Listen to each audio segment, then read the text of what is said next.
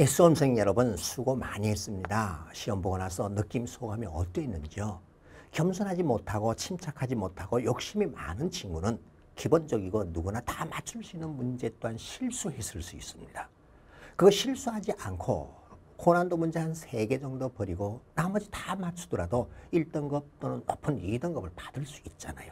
자, 항상 시험 볼 때는 긴장하지 마세요. 편안하게 마음 비우면 됩니다. 자, 그러면 1번 문제부터 함께 보겠습니다. 아, 문제 1은 그냥 바로 암산으로 바로 되죠. 순열의 수를 물어봤습니다. 8, permutation 2라면 8m로 두 개를 곱한 것이니까는 8 곱하기 7 이걸 56 아주 간단하게 주어지는 2점짜리였습니다.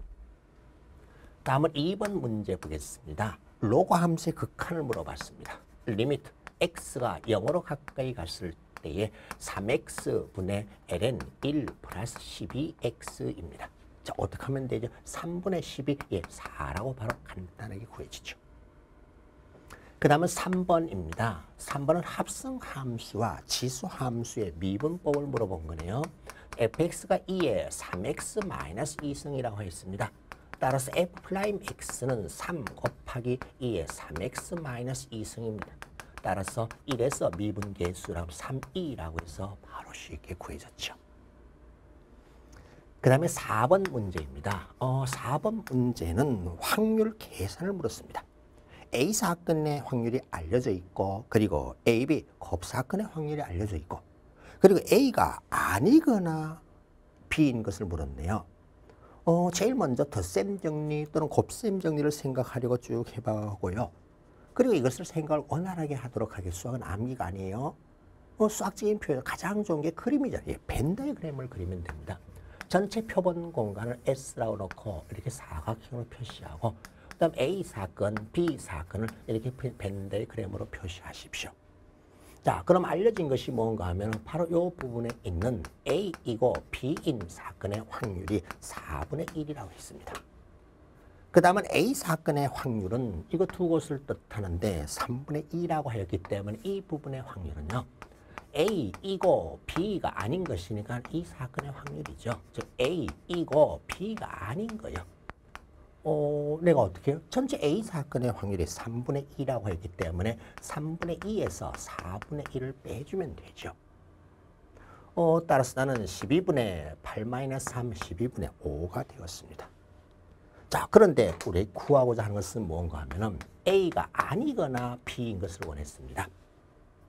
A가 아닌 것이라면 여기고요. 어?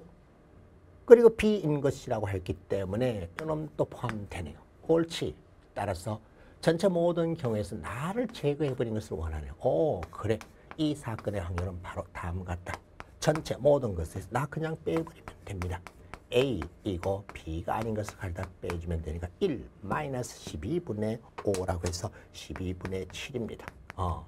조금 신경 쓰이는 것이었네요. 자, 어떻게 하라? 벤 다이어그램을 그리십시오.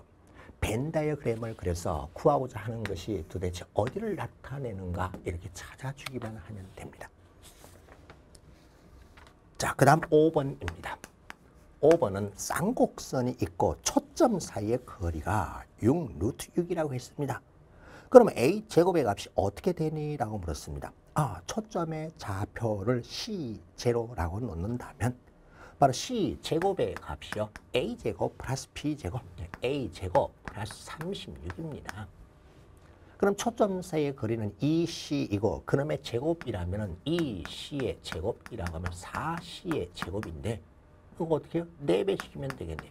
4A제곱 플러스 36이고 내가 얼마? 초점 사이의 거리가 6루트이니까 그놈의 제곱 6, 루트 6의 제곱. 오케이. 이거 바로 풀어주시면 되죠. 예, 계산은 여러분이 바로 할 수 있으니까 제가 계산은 생략해도 되겠죠. 따라서 a제곱의 값을 구해주면 18이라는 걸 알 수 있습니다. 예, 쌍곡선의 방정식, 공식 유도 해봤습니까? 초점 C가 알려져 있고 일정 거리의 차가 알려져 있을 때에 B, A, C 사이의 관계 이것을 제대로 알고 있으면 되죠.